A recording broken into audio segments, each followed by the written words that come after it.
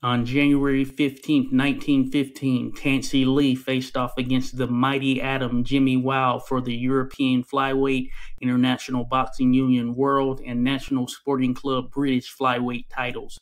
Lee had a nearly 15 pound weight advantage over Wilde, who weighed in fully dressed at 97 pounds, while Lee weighed in at 111 and a half pounds. The two men battled ferociously through the early portion of the contest.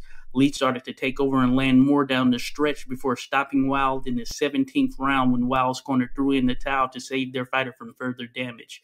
This was the first loss of Wilde's career as he came into the fight with a record of 94 and 0 with one draw, one of the longest unbeaten streaks in the history of the sport.